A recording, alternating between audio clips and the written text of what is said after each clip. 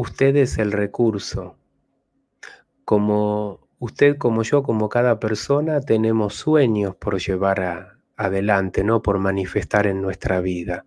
Tenemos proyectos, proyectos y sueños que tienen que ver con nuestro crecimiento interior, ¿no? Eh, entonces, miramos y decimos, por ejemplo, ¿no? Yo no tengo ningún recurso, yo no puedo, no tengo ningún dinero. Y ahí lo que está pasando es que te estás limitando. Ahí lo que está pasando es que te estás programando de manera negativa. Porque yo te puedo contar mil casos en donde las personas no tenían dinero para llevar adelante sus sueños, pero estaban en el nivel de sintonía correcto y todo lo demás apareció se abrieron las puertas que se, se, tenían que abrir, pero es indispensable que uno no se limite diciendo no tengo los recursos. Pero resulta que tú tienes un cuerpo físico, tú puedes hacer en el mundo cosas, eh, tú, tú eres eh, energía también, atraes. Entonces, ¿cómo estás utilizando tu cuerpo físico, tu energía, tu mente o el conocimiento que tú has adquirido a lo largo de tantos años durante la Tierra, eh, durante tu estadía en la Tierra. Supongamos los míos 49 años. Uno mismo es el recurso.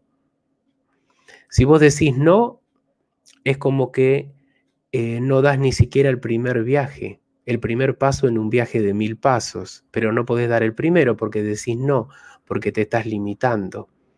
Y cuando decís recursos te referís solo al dinero, decís no tengo dinero, en realidad, Rodrigo, pero y todos los otros recursos tenés vida, tenés una conciencia, una energía.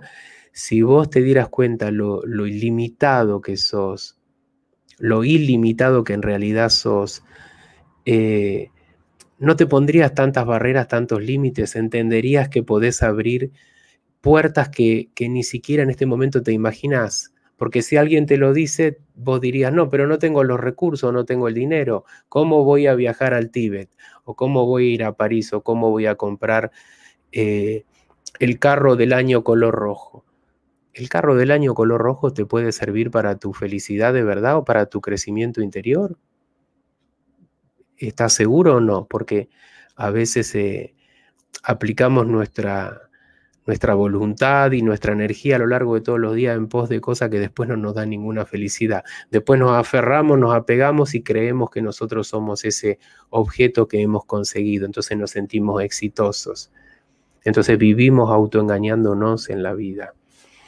Uno es el recurso, uno es la abundancia. La abundancia es un nivel de conciencia. Entender que uno es el recurso es un determinado también nivel de conciencia. El que no está en ese nivel de conciencia va a decir, no, Rodrigo, eh, el recurso es el dinero, es tener dinero. Tener dinero permite llevar adelante tus sueños. Si cada persona necesita dinero para llevar los sueños adelante, quizá eh, muy poco se hubiera conseguido en el mundo.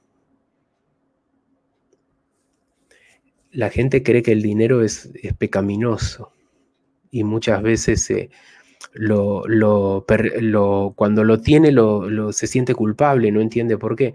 Me está ocurriendo la abundancia, eh, un buen matrimonio, todo está bien, hay abundancia, hay salud, pero me siento culpable y tengo mucho dinero, no entiendo por qué, Rodrigo. Bueno, porque a veces eh, heredamos ese pensamiento limitante de nuestros ancestros, de nuestras programaciones eh, que por ahí nos han legado los progenitores que han vivido en la carencia, los padres, los abuelos, los bisabuelos, y de pronto te han programado en la, carencia de manera inconsciente, no porque nadie conscientemente va a hacer una cosa así. Entonces tú te sientes carente y sin embargo en la vida eh, la has pegado en el aspecto material. Entonces tienes mucho dinero, pero te sientes muy carente. Y mucha gente que es muy carente y tiene mucho dinero lo que hace es guardarlo, es aferrarse, es no hacerlo circular, es aferrarse al dinero y sentir una seguridad que es falsa, ¿no? Es solamente un juego de tu mente, un juego de tu ego. Uno es el recurso, uno es la abundancia, uno es la prosperidad. El dinero es una herramienta, Tú una herramienta la puedes utilizar para construir un mundo o para destruir un mundo. Depende, de tu nivel de conciencia. Si tú dices no tengo dinero, ¿y cómo hago? Tú eres el recurso. Ponete en mente el proyecto que vos querés llevar adelante, analizalo, pensalo. Pensar realmente si esto tiene que ver con tu crecimiento interior. De todas maneras, atraigas lo que atraiga, todo va a servir para tu crecimiento interior, ¿no? Si vos atraes algo que al final, en un principio vos creías que era para beneficio, para crecimiento interior, para amor, resultó catastrófico. Y entonces, eh, ¿qué sucede? Entonces de la catástrofe, de los eventos desagradables, de, de los dolores, de las heridas, aprendemos los seres humanos. O sea, pasó lo que tenía que pasar, entonces ahora hay que mirar para adelante, no mirar para atrás, aprender de la situación que aconteció. Y quizá hay que hacerse más consciente. Elevar la vibración, en definitiva, para mí es hacerse un poquito más consciente de que uno tiene el poder, de que uno es el recurso, que si vos te propones, el, universo va a abrir las puertas necesarias. Eh, yo suelo acordarme de una anécdota que contaba Robert Adams, que yo diría que es un gurú que estuvo en la India americano, que él empezó a sentir, después de recibir determinadas visiones, que él tenía que ir a la India. Era algo así, pero él no tenía dinero. Pero él no dijo, no, yo no voy a ir a la India porque no tengo dinero. No, él estaba abierto a la posibilidad. ¿Qué pasó? Murió una tía, murió una tía justo, y le dejó una fortuna, una pequeña fortuna que no me acuerdo de cuántos miles de dólares era para ese tiempo, y con ese dinero como que le cayó del cielo, porque en definitiva cae del cielo a veces, hizo ese viaje que le transformó la vida y después todo ese conocimiento lo trajo a Occidente conocimiento de, de, la no dualidad, que no quiero hablar de eso acá, ¿no? Porque no es el, canal oportuno.